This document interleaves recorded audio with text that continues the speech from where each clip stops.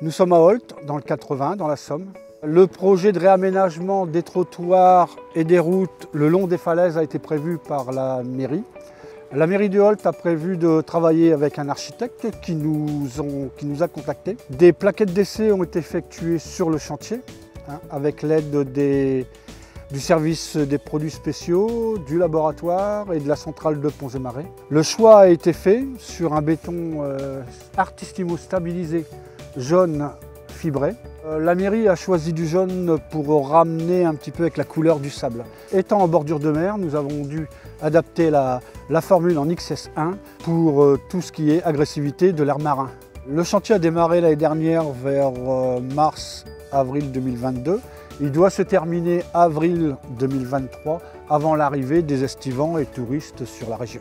Le chantier il fait environ 5000 m2 et le béton a été fabriqué de la centrale de Ponts et Marais.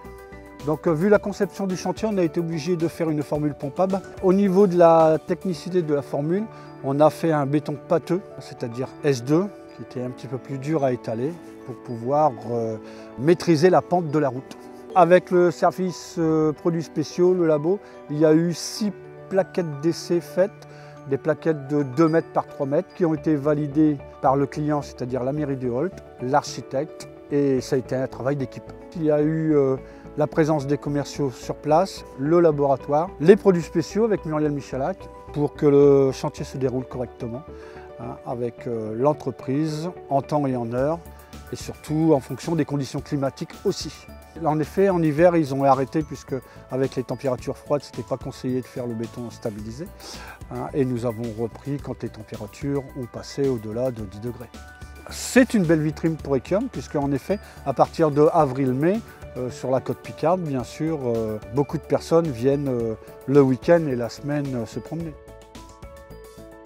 Il y a bien eu une osmose au niveau de l'équipe et de notre client qui est FH Route, puisqu'on était souvent sur place, beaucoup de communication, ça s'est très bien passé. On a anticipé les livraisons, on a anticipé plus ou moins les conditions climatiques et on n'a pas pris de risque, tout simplement.